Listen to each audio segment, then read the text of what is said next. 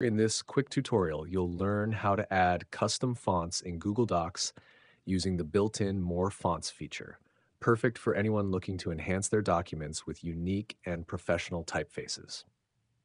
If this video helps, don't forget to give it a like and subscribe for more quick Google Docs tips. Google Docs offers more than just the default font options. You can access a wide variety of additional fonts without installing anything.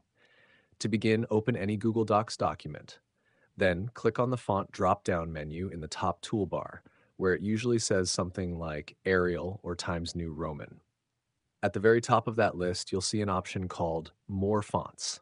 Click that. This opens a pop-up window connected to the Google Fonts library. From here, you can browse hundreds of fonts. You can filter by script, style, or popularity. When you find a font you like, such as Pacifico, Roboto Slab, or Playfair Display, simply click it to add it to your personal list.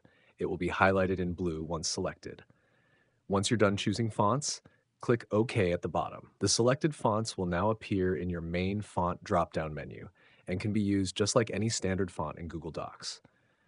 While you can't upload your own font files directly into Docs, this feature gives you a wide enough variety for both casual and professional use. So the next time you want to give your project a more personalized look, whether it's a school paper, resume, or creative poster, don't forget to explore the More Fonts option. If this helped, make sure to like the video, subscribe to the channel, and turn on notifications for more quick tutorials like this one.